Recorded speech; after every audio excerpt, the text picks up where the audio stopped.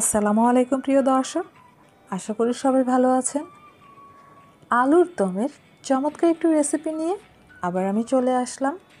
খুব সহজে কীভাবে এই চমৎকার রেসিপিটি করে ফেলা যায়, আজ আমি আপনাদের সাথে তাই শেয়ার করব। আমি আজ প্রায় এক কেজি পরিমাণ আলু, আলুর দম করব। আর আলুগুলোকে প্রথমে আমি ছোট ছোট পিস করে নিচ্ছি। আর এর যে খোসাটা, সেটা কিন্তু আমি ছাড়িয়ে নিইনি। তো একটু খেয়াল করে দেখবেন ঠিক এই শেপে আলুগুলোকে কেটে নিতে হবে। সেই ছোটোবেলা থেকে কাটাকাটি করতে আমার ভীষণ রকম ভালো লাগতো।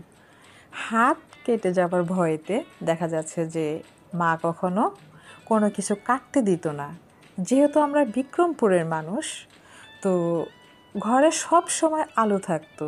তো যদি কিছু কাটতে না দিত, সেক্ষেত্রে আমি যেটা করতাম যে, চুপ করে দুইটা আলু নিয়ে নিজের ইচ্ছে মতো যা মন চাইতো কেটে কেটে সেগুলো করে ফেলতাম। সব আলু কাটা হয়ে গেলে পরে আমি এগুলোকে পানিতে রেখে দিব। আলু কেটে অবশ্যই পানিতে রাখতে হবে, তা না হলে আলু কিন্তু কালো হয়ে যায়। এখন এগুলোকে আমি ধুয়ে নিয়েছি। এখন আমি এই আলুগুলোকে প্রেশার কুকারে একটা হুইসেল পর্যন্ত সিদ্ধ করে নিয়েছি। তারপর একটু লবণ আর হলুদ দিয়ে মাখিয়ে নিচ্ছি খোসা ছাড়িয়ে। দেখতেই পাচ্ছেন আপনারা। তো হলুদ লবণ মাখানো হয়ে গেলে পরে একটি ফ্রাই প্যানে আমি দিয়ে দেব হচ্ছে ওয়ান থার্ড কাপ পরিমাণ সর্ষে তেল। তেলটা একটু গরম হয়ে গেলে পরে এই হলুদ লবণ মাখানো হাফ সিদ্ধ আলুগুলো এখানে দিয়ে দিব। আর যেহেতু এখানে আলুর পরিমাণ বেশি, তাই আমি এখানে অর্ধেকটা পরিমাণ করে ভেজে নিচ্ছি। আজকে রেসিপি করতে যেয়ে কেন জানি না আপনাদের সাথে খুব গল্প করতে ইচ্ছে করছে। কারণ একটাই হবে, কারণ হচ্ছে আলু। আলু আমার অসম্ভব রকমের প্রিয় একটি খাবার, আর আলুর দম হলে তো কথাই নেই, লুচি আর আলুর দম। তার মানে হচ্ছে আমাকে সারা দুনিয়ার খাবার এক পাশে দিয়ে দিবে, আর লুচি আর আলুর দম আরেক পাশে দিয়ে দেবে। আমি কিন্তু এটাই খাব। তাছাড়া বিক্রমপুরের বা মুন্সীগঞ্জের মানুষরা আলুটা একটু বেশি পছন্দ করে। তো এভাবে হালকা ব্রাউন করে আলুটা একটু দুই পাশ ভেজে নিতে হবে, আর ভাজা হয়ে গেলে তুলে নিতে হবে। এভাবে আমি সবগুলো আলু ভেজে নিয়েছি। এখন এই অবশিষ্ট তেলের মধ্যে দিয়ে দিব এক টেবিল চামচ পরিমাণ চিনি আর এই চিনিটা দিয়ে একটু ক্যারামেল টাইপের করে নেব। এতে করে আলুর দমে সুন্দর একটি কালার আসবে, সাথে হালকা মিষ্টি একটু টেস্ট চলে আসবে। তো চিনিটা যখন একটু গলে আসবে, সেই মুহূর্তে আমি দিয়ে দিব দুইটা তেজপাতা, দুই টুকরো দারচিনি, চার পাঁচটা এলাচ আর দিয়ে দিব পাঁচটা শুকনো মরিচ। এগুলোকে আমি একটু ভেজে নেব। সাথে দিয়ে দিচ্ছি দেড় টেবিল স্পুন পরিমাণ আদা রসুন পেস্ট। আর গরম তেলের মধ্যে আদা রসুন পেস্ট দিলে হয় কি, তেলটা একটু ছিটে আসে। সেক্ষেত্রে যেটা করবেন, সাথে সাথে একটু হলুদ অথবা একটু মরিচের গুঁড়ো দিয়ে দিবেন। তো আমি এখানে হাফ টেবিল স্পুন পরিমাণ লাল মরিচের গুঁড়ো দিয়েছি আর ওয়ান স্পুন পরিমাণ হলুদ গুঁড়ো দিয়েছি। এখন একটু কষিয়ে নিব। সাথে দিয়ে দিলাম হচ্ছে ওয়ান স্পুন পরিমাণ ধনিয়া গুঁড়া ও ওয়ান স্পুন পরিমাণ জিরে গুঁড়া। সবগুলো মশলা মিনিট খানেক কষিয়ে নেওয়ার পর অল্প একটু পানি দিয়ে দিব। আর সাথে দিয়ে দিব স্বাদ মতো একটু লবণ। এখন দিয়ে দিচ্ছি টু টেবিল স্পুন পরিমাণ টমেটো সস।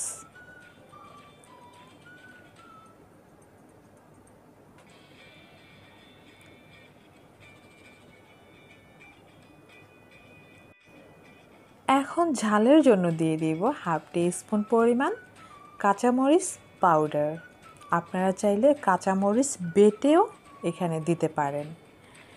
এখন একটু পানি দিয়ে ভালোভাবে মশলাগুলোকে কষিয়ে নিব দুই থেকে তিন মিনিট।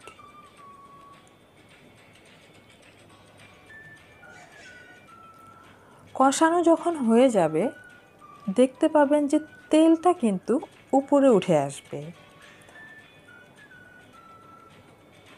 আপনারা নিশ্চয়ই খেয়াল করেছেন যে তেলটা উপরে চলে আসছে। তো এই মুহূর্তে সেই ভাজা আলুগুলো আমি এখানে দিয়ে দিব।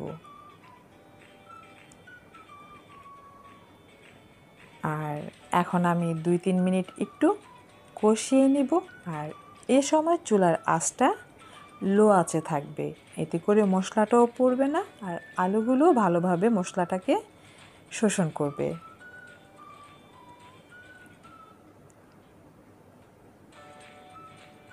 তো এভাবে কষানো হয়ে গেলে পরে আমি এর মধ্যে দিয়ে দিব হচ্ছে পরিমাণ মতো পানি। এখানে আমি প্রায় এক কাপ পরিমাণ পানি দিয়েছি, কারণ আলুর দমের ঝোলটা খুব বেশি পাতলা হলে কিন্তু খেতে ভালো লাগে না। এখন আমি ঢাকনা দিয়ে ঢেকে রান্না করব আরও দুই থেকে তিন মিনিটের মতো।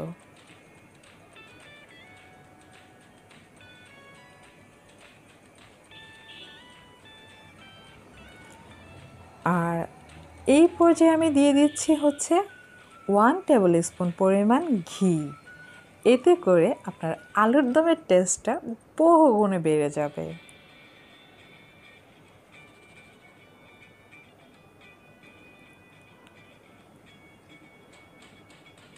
এই ঘিয়ের স্মেলটা যাতে আলুগুলোর সাথে ভালোভাবে মিশে যায় সেই জন্য ঢাকনা দিয়ে ঢেকে রান্না করব আরও দুই মিনিটের মতো।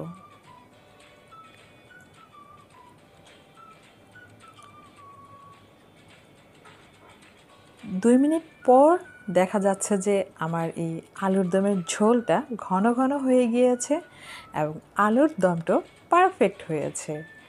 এর কালারের টেস্ট এর স্মেল আমি আপনাদেরকে মুখে বলে বোঝাতে পারব না। আপনারা অবশ্যই ট্রাই করবেন। আর এই আলুর দম লুচি দিয়ে খেতে অনেক অনেক বেশি ভালো লাগে। আশা করি আলুর দমের এই রেসিপিটি আপনাদের পছন্দ হয়েছে। যদি পছন্দ হয়ে থাকে, তাহলে প্লিজ আমার চ্যানেলটি সাবস্ক্রাইব করবেন এবং পাশে থাকা বেল আইকনটি ক্লিক করে সবগুলো ভিডিও দেখে নেবেন। আর হ্যাঁ অবশ্যই কমেন্ট করবেন। আলুর দম আর লুচির টেস্ট যে কতটা পরিমাণ পারফেক্ট হয়েছে, কতটা মজা হয়েছে, সেটা বলে বোঝানো যাবে না। যদি আপনারা বুঝতে চান, তাহলে রেসিপিটি অবশ্যই ট্রাই করবেন।